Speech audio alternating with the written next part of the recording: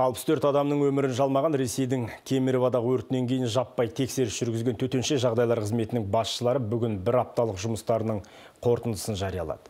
Нәтижелері адам шошырлық. Қазақстандағы сауда орындарының 95 пайызы өртке қарсы талаптарға сай емес екен. Біреулерінде апат туралы құлақтандырғыш құрылғылары жұмыс істемесе, екіншілерінде қарапайым өртке қарсы құралдары жоқ болып шыққан.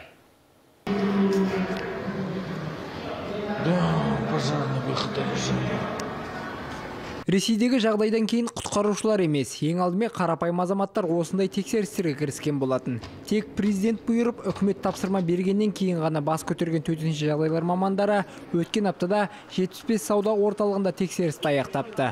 Сонымен 75 сауда орнының тек үшеуі ғана өртке қарсы талаптарға сай екен яғни 4 пайыз деген сөз. Қалған 72-сінде анықталған заң бұзушылық саны мыңнан асып кеткен. Все, что можно, как говорится, нарушено там. бір ғана астананың өзінде 10 ірі сауда орны тілсіз жауға қарсы талаптарға сай келмеген. Атап айтсақ балалардың сүйікті орнына айналған аружан сауда ойын сауық орталығының қызметкерлері апат кезінде не істейтінін білмейтін болып шықты. Ал өрт сөндіргіш құралдары мен апатты құлақтандыру және түтінге қарсы құрылғылары іске жарамсыз екен.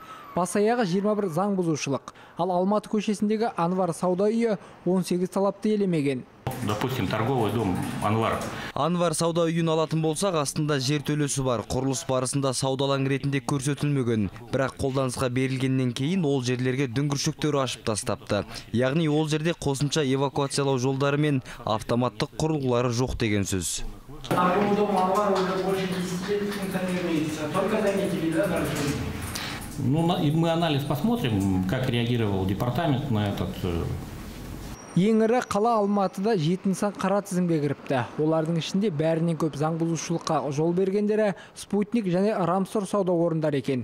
Спутниктегі кинотеатрда өртке қарсы автоматты хабарландыру құрылғысы толық жабдықталмапты.